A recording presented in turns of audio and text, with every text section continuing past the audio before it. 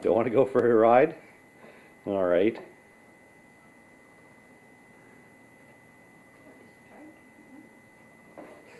Oops. Uh-oh.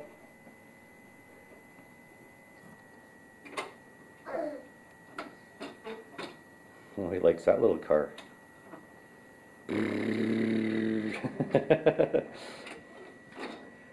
well, drives like mom. Ah. yep. Five minutes to the grocery store, that's it. Beep beep, look out, it's mom coming. Get off the sidewalks. He uses the little signal light. Too bad the batteries aren't in it.